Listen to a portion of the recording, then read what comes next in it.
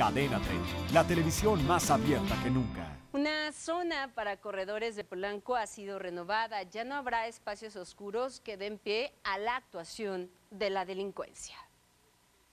El circuito Gandhi tendrá la iluminación de 212 luminarias que beneficiarán a los vecinos de Polanco y visitantes que asisten al corredor más importante de reforma hasta Campos Elíseos. La falta de inversión pública deterioró la infraestructura, además de que la nula iluminación hacía latente la inseguridad de la zona.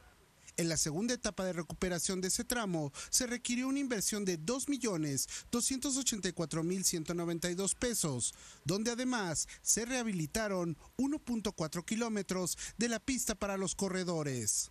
Esto es parte de la etapa de reconstrucción que nosotros nos eh, diseñamos como política pública seguir en estos tres años de gobierno.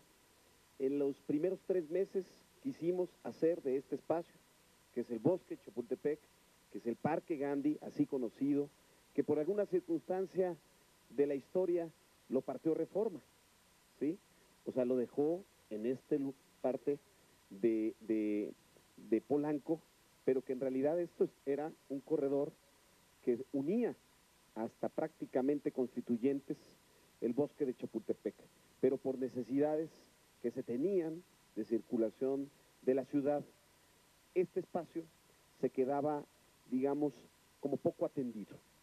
Y lo hacemos en la lógica de que teníamos que ver cómo juntos, entre gobierno del DF, Secretaría de Medio Ambiente, la Dirección de Bosques Urbanos, la Dirección del Bosque de Chapultepec, cómo hacíamos que este lugar fuera otra vez visitable, accesible, caminable. Cabe recordar que el 17 de diciembre de 2012 se concluyó la primera etapa y se colocaron 105 luminarias, además de sustituir 2.000 metros de guarniciones. Con información de Jimena Mejía, Grupo Imagen Multimedia.